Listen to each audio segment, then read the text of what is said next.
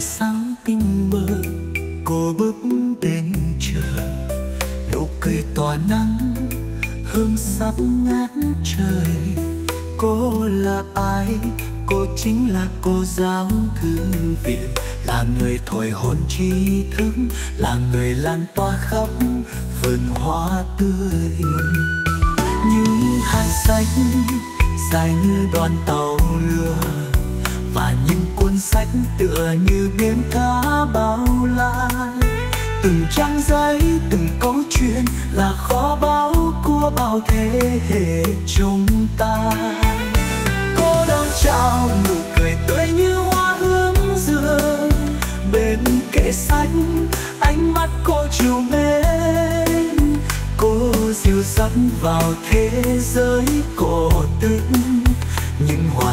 ước mơ còn đang sáng giờ Cô nhìn các em mở từng trang sách Và cùng khám phá những điều hay điều tốt. Từng câu từng chữ hiện một chân trời mới. Khao khát niềm tin cháy bỏng rực sáng tương lai.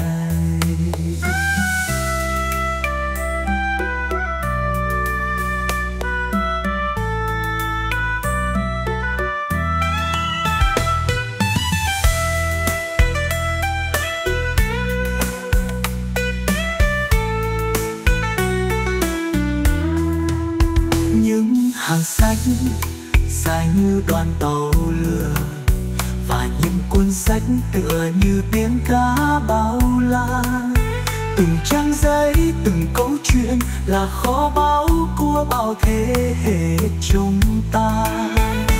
Cô đón chào nụ cười tươi như hoa hướng dương bên kệ sách, ánh mắt cô chiều mê cô dìu dắt vào thế giới cổ tích. Nhưng hoài bão ước mơ còn đang sáng giờ. Cô nhìn các em mở từng trang sách và cùng khám phá những điều hay, điều tốt.